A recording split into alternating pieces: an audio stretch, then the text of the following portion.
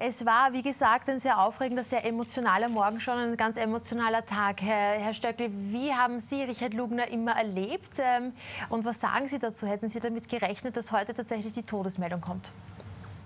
Also ich halt, habe ja Richard Lugner immer für eine Legende gehalten, ähnlich wie bei Karl Lagerfeld, ein Mensch, der eigentlich gar nicht sterben kann, weil er ist unsterblich, denn er war ja, ich vergleiche das immer so gerne mit Mooshammer in München. Er war eine Ikone der Stadt und auch weit über Wiens Grenzen hinaus. Und äh, immer wenn wir uns begegnet sind, war das sehr lustig und ich kannte ja war sehr gut befreundet, auch immer mit Edith Leira, die ihn sehr gut kannte. Und ähm, dadurch bin ich ihm immer auf vielen möglichen Momenten begegnet, auch bei seinem Geburtstag und habe ihn immer als einen lebensbejahenden Menschen kennengelernt, der eine besondere Freude hatte am Leben. Mhm. Das haben Sie sehr schön zusammengefasst. Er war irgendwie auch nahbar, oder? Wie haben Sie das erlebt? Vielleicht auch gerade den Umgang äh, mit der Presse, weil irgendwie die hat er geliebt, oder? Also er wollte ja sein Privatleben absolut präsentieren mit allen Schattenseiten, die das vielleicht so mit sich bringt, oder? Man muss sagen, heute hat ja der Spiegel berichtet, er war Bauunternehmer, Reality-Star und Bundespräsidentschaftskandidat. Also im Grunde genommen wollte ja Richard Lugner alles sein, alles. Er wollte Reality machen, er wollte aber großer Unternehmer auch sein und er wollte eigentlich auch Bundespräsident werden. Und äh, man muss dazu sagen, dass ähm, ich habe ihn immer eher so stofflich wahrgenommen. Also ich glaube, er wollte alles, aber wenn dann alles da war, fand er es irgendwie auch anstrengend. Und wenn denn die Leute nicht so funktioniert haben, wie sie wollten, inklusive seiner vielen Diven, die er zum Opernball hat eingeladen, war das auch alles immer anstrengend. Und ähm, ich muss eine persönliche Anekdote erzählen.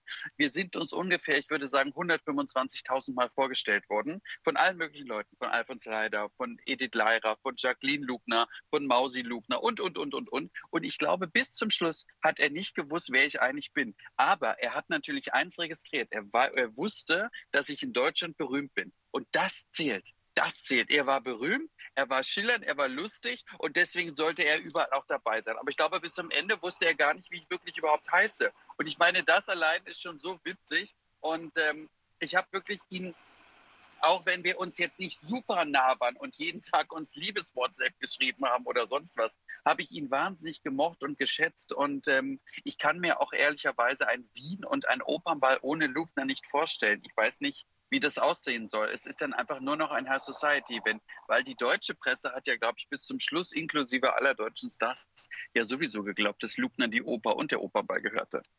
Definitiv und irgendwie auch verständlich, oder? Da geht er schon seit über 30 Jahren, dass er die Top-Stars bringt. Ja, wer hätte gedacht, dass Priscilla Presley dann tatsächlich die letzte an der Reihe ist, auch äh, wo er wieder brilliert. Ja?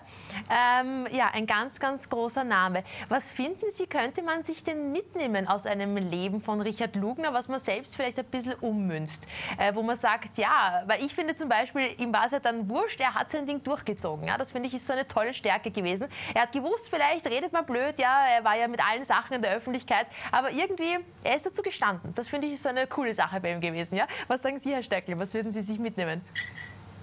Also ich glaube, was etwas, was noch viel wichtiger ist als das, was Sie gesagt haben, was auf jeden Fall auch zutrifft, was viel wichtiger ist, ist ja, wenn man jung ist und wir sind ja nun alle etwas jünger als er, ähm, hat man ja an sich Lebensfreude. So. Aber im Alter, ab 80, 90, ist es ja eigentlich viel schwieriger, Lebensfreude noch zu haben. Viele ältere Menschen sind gebrechlich, haben keine Lust mehr zu leben, haben es anstrengend und, und, und. Und in dem Alter, in dem Richard war, immer noch jeden Tag Lebenslaune zu haben, Lust zu haben auf Neues, auf Social Media, auf seine Lugner City und diese ganzen Dinge, die er ja auch über Social Media Kanäle äh, promotet hat, ist das eigentlich das Besondere, was wir von ihm lernen können. Nämlich bis ins hohe Alter Lust zu haben auf Neues, Lust zu haben auf Menschen, Lust zu haben auf Partys, auf Social Media und auch auf, auf vielleicht Sachen, die er gar nicht kannte. Vielleicht hat er auch Social Media gar nicht verstanden, aber es ist egal, er hat es gemacht. Und das finde ich ist etwas Besonderes, weil als junger Mensch guter Laune zu sein, ist keine Kunst. Aber im Alter es zu sein, ist es noch viel mehr.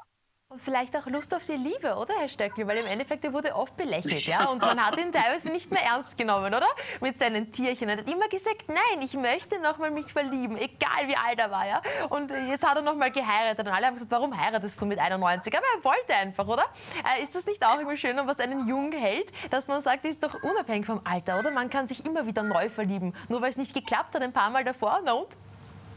Also er war auf jeden Fall, glaube ich, auch ein Provokateur. Und das ist ja etwas, was die High Society ja dringend braucht. Heute ja noch viel weniger, wo ja so viele Leute anders sein wollen. Und ich meine, wenn ich das sagen darf an der Stelle, ich glaube, Richard Lugner und ich haben eins gemeinsam. Wir wollen provozieren, wir wollen aber auch quasi, äh, wir wollen auch gerne andere Leute auf, aufwühlen so ein bisschen. Und ich meine, weil, wissen Sie, viele Leute haben dann wahrscheinlich gesagt, na, mit 91 ist ja furchtbar. Und allein, dass sich die anderen alle mokieren darüber und sich aufregen und quasi das Spießertum fast über, aus dem Fenster fliegt, ist das wahrscheinlich, was ihm am Ende viel Spaß bereitet hat. Und das ist auch etwas, was ich mit ihm geteilt habe und auch teile, was mir unglaublich Spaß macht, wenn die anderen sich denken, also wie kann man nur? Dann wird es ja erst richtig lustig. Und das hat er ja in, in Perfektion beherrscht. Und ähm, deswegen ist es so, ich vergleiche es immer so ein bisschen mit Mooshammer in München. Mooshammer war Dreh- und Angelpunkt der Münchner High Society. Lugner war die, Lugner war die Wiener High Society. Ich werde mein Leben nicht vergessen, vor ungefähr 15 Jahren war ich das erste Mal